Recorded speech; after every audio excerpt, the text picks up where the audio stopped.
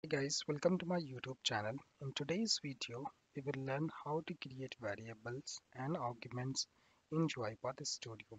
So please watch this video till the end so that you can understand it completely. So let's get started. So to create a variable, we will open the main workflow. I will click on open main workflow and you can also open it from the projects and then double click on main.xaml right. The workflow is open now. Now you can create the variable from the variable section which is at the bottom. Right.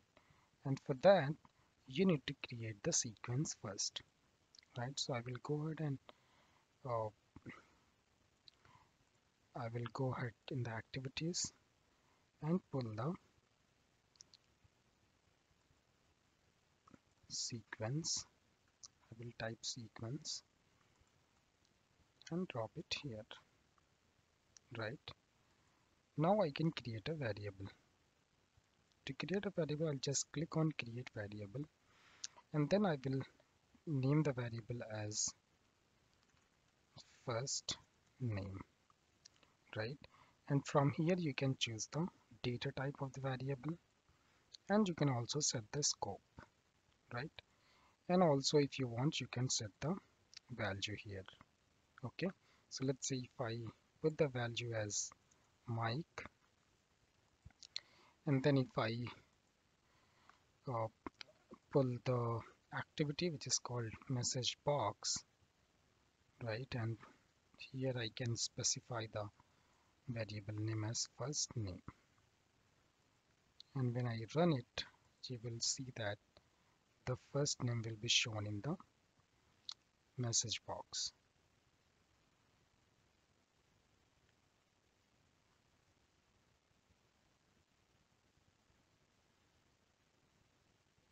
Right? Similarly you can also create the variable. And if you want to you if you want to delete this variable you can just right click and delete or you can also just select the variable and press the delete button.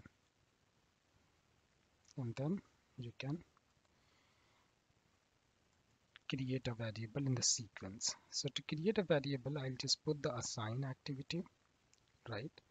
And here I can right click and then press create variable or the shortcut key I can use which is control K here I can give the variable name and then I can assign the value just like Mike. And by default whenever you will create a variable the variable type will be string. So you have to come back to this variables section and you need to change the data type as per your need. So as of now I'm going to work with this string. That is why I'm keeping keeping it as string right?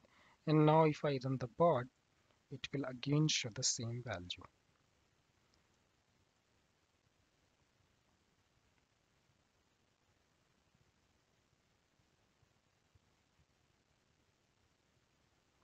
Here you can see the value is Mike okay so this is how you can do it. So let's see if I delete this and I can also delete this variable from here. And then I drag the assign right? Here you see on, on the right side you have option. So it says that two you can right click and say create variable or you can just say that control K. And from here also you can create a variable and then you can assign the value which is Mike. And if you expand it you can expand and write it in the expression editor in the same way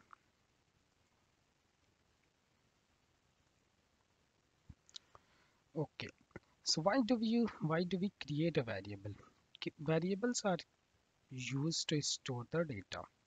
This is exactly what we are doing here right? So this is the data which is Mike and we are storing it uh, in the variable first name right? So whenever we will use the variable name which is first name the value of it will be shown correct? In the same way we can create arguments right here we can come and say that create argument but it is in, in best practice that you have to specify the direction here right? So let's say if you want to create input argument in that case you have to begin it with in and then last name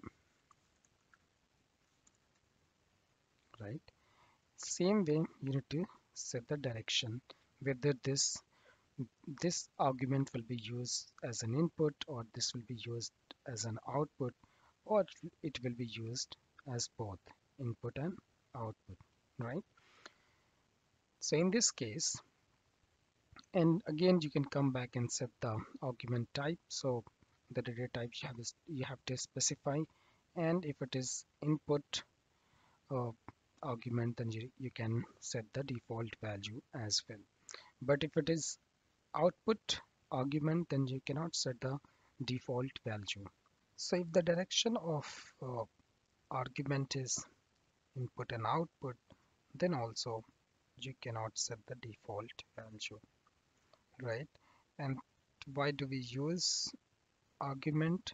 Arguments are used to transfer the data from one workflow to another right?